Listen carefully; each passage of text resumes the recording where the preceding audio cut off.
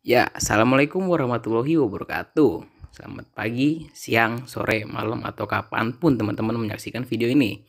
Kali ini kita akan ngebahas bagaimana bambu terlibat dalam unsur kebudayaan, terutama unsur seni dan unsur teknologi atau alat.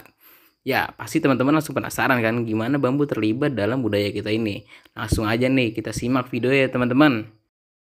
Yang pertama, Bambu gila.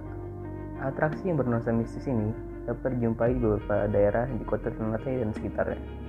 Kesenian bambu gila dipercaya telah ada di Maluku sebelum agama Nasrani dan agama Islam masuk ke wilayah tersebut. Kisahnya berasal dari hutan bambu yang terletak di kaki gunung berapi Gamalama, Ternate, Maluku Utara.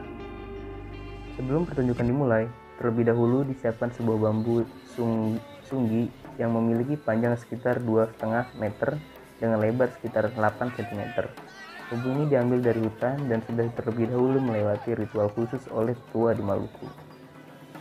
Sebelum pertunjukan dimulai, pertama-tama seorang pawang akan membakar kemenyan yang ditaruh di dalam sebuah tempurung kelapa sambil membaca mantra dalam bahasa tanah yang merupakan salah satu bahasa tradisional Maluku.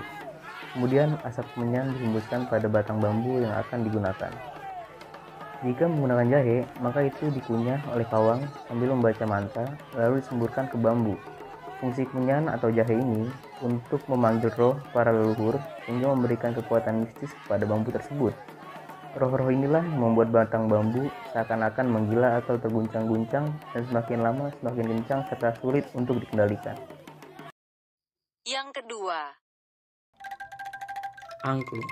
Keberadaan angklung tidak terlepas dari Bapak Daeng Sutikna yang menemukan alat musik berbahan bambu tersebut di sekitar tahun 1938. Angklung merupakan gabungan dari beberapa pipa bambu dalam ukuran yang berbeda-beda yang harus diguncang-guncang untuk menghasilkan bunyi dan irama yang khas. Pada awalnya, angklung hanya digunakan untuk acara yang bersifat kesenian bertaraf lokal dan tradisional.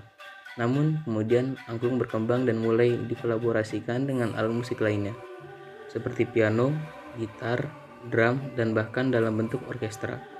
Angklung juga dipentaskan dalam pertunjukan-pertunjukan musik, mulai dari yang bertaraf regional, nasional, hingga internasional.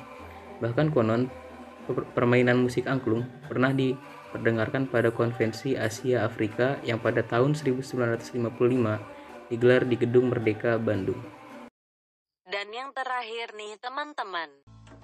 Lamang. Lamang merupakan makanan khas Minangkabau. Biasanya makanan ini disajikan ketika momen Hari Raya Idul Fitri. Yang menarik dari proses pembuatan lamang adalah ia menggunakan bambu sebagai alat untuk memasaknya.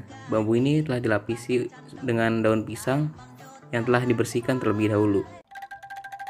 Oke teman-teman, itu tadi merupakan kaitan bambu dengan unsur kebudayaan yang ada di negara kita ini nih.